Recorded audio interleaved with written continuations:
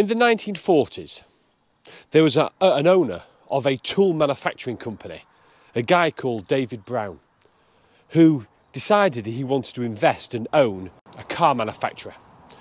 And he, in 1947, bought this Aston Martin for the pricely sum of £30,000.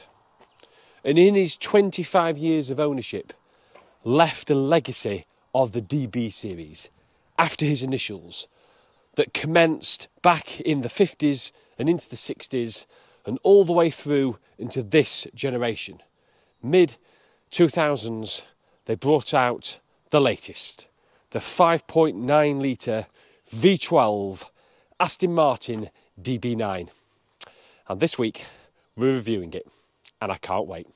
Welcome to this week's Fast and Fun. So, the DB9 came out in 2004 as a successor to the DB7. And you may think, well, why didn't they naturally call it the DB8? And there was a very good reason for that. Because they were feared that if they called it the 8, people would think it had 8 cylinders, a V8 under the bonnet, when in actual fact, the DB9 would have 12. A V12, a 5.9 litre V12, producing in its first guise 450 brake horsepower, although there were two uplifts around 2009 2013 during the 12 year production run of the DB9, running from 2004 all the way to 2016. This one, this is a 2005, it has only got 30,000 miles on the clock. It has been owned from new by one owner, and so this is one of the best examples out there at the moment. Front engined, rear wheel drive through either a six speed manual, which were very rare, the vast majority came as a six speed automatic, a torque converter automatic, and it came as either a coupe or the convertible. And in Aston Martin speak, that was always called the Volante. The DB9 also came with a fully bonded aluminium chassis, which made the car super rigid. In fact, apparently it was it provides twice the torsion rigidity of the earlier DB7, but comes in at 25% less weight. Now that's an incredible feat. For the Volante, the convertible, that the, the structure of it obviously had to be strengthened to keep its rigidity, and which did increase weight. Um, but as a result of that stiffening even further, they had to fit on the Volante models softer springs and softer anti roll bars just to give it a little bit more compliance on the road. One of the interesting points with the Volante is should you be in a serious accident in a rollover position, they have pop up hoops, crash hoops that pop up whether you've got roof up or down. And if it's actually fully up, they will smash through the rear glass to protect all four occupants in the car. And when I say four occupants, what I really mean, well, officially this is a two plus two, but you'll see when we look in the car that realistically for me, this is a two seater sports car with two seats that really offer near no leg room at all, other than for the fact they are great at holding extra luggage. Performance was absolutely on par for the key market that DB9 was aiming at, which was the GT, the Grand Tourer. 450 brake horsepower, 420 pounds foot of torque, although the torque is quite late in its peak, around about 4,500 revs. Brake horsepower, power is reached at around 6,000 revs. It means the coupe can hit 60 in a shade over four and a half seconds. The Volante is a little bit slower, um, at, a, at, a, shade under five seconds to the added weight, which carries just over 100 kilos, so one of me, in addition to the, to the, the strengthening that I've had to do for the Volante models. Top speed of the coupe was 186 miles an hour, de-restricted, whereas the Volantes were capped at a maximum speed of 165 purely to make sure that you protect the roof. There are many things to describe the Aston Martin DB9, but for me, well, I think it is, if it is not the best, it is one of the best ever looking cars, period. It's just a timeless design um, from that renowned front grille. Um, it's the sleek looks, the bonnet vents to see get some heat dissipation from that six litre V12. Front brakes are surprisingly the only four pot Brembo um, calipers. Tyres are t- at the front 235 14 19s, and these running on um, uh, what are these on? These are on Bridgestone Potenzas and you look down the side of the car and it's all sl- it's all smooth the integrated door handle there that you just press to actually open the door. And one of the interesting features when you open the door not necessarily easy to show on the video is the door actually opens at an angle that actually raises the door up. So it doesn't open linearly. Why? Well i assume it's not designed. I assume it's to help that you don't, if you park next to a high curb, there, um, it lifts the door up and away.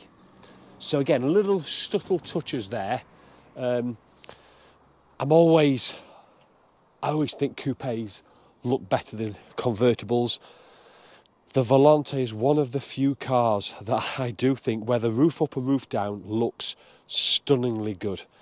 The back boot here that gives actually some serious good space if you are going to use this as a weekend tourer there. There's enough certainly for two, three soft bags, plus you've got the seats behind the driver's um, driver's seat uh, seats. And at the back, that class, I, I think the DB series, it just oozes class and the simple twin exhaust at the back of the car. That balance and I'm just, I say, I can't wait to drive the car to see what it goes like. If we step into the inside, and this is where again the Aston Martin, it just feels a completely premium brand as it is. You've got the, the plaque to greet you as you step into this car, telling you that it's hand built in England, the DB9. The handbrake that I've done a bit of investigation to why the handbrake's on the sill rather than um, in the centre console. I can only assume that it's because they wanted to keep the inside lines clean and simple, and that centre section with the uh, where would normally be a traditional handbrake, you've got the electric seats controls, no shifter for the automatic either. So they're buttons up high on the um, high on the inter, uh, high on the console, and then a small leather-clad steering wheel with, well, we'll come on to the dials there. The the rev counter moving around in an anti-clockwise. I don't particularly like that. And we'll briefly talk about the analog speedo, which is as good as useless. Zero zero miles an hour is sort of at the five o'clock position, 70 miles an hour is at the seven o'clock position, and the rest of the dial is just completely useless. Um, I don't know why Aston Martin thought that was a, a, good idea. So really, you've got to use a digital speeding, and the analog one is, well, for aesthetics only. Because they've done away with having a gear select shifter, and you've just simply got these four buttons with the engine start button and then you've got this aluminium, scrubbed aluminium, with dials that actually for me feel premium. It all feels like it's been put together well. Of course, this looks something more like a sort of a Sony stereo set from sort of the mid 2000s, but this is you've got to remember this is pre-smartphone, and which is interesting because actually there's nowhere for a smartphone to go. This what appears to be a nice dust collector and a coin holder probably, and really simple, really simple. Not a great um, amount of buttons on this. Keep it simple. I do like the the colour, the the sort of the metal, like it's been chiselled out of metal or aluminium, and it's in keeping with the car.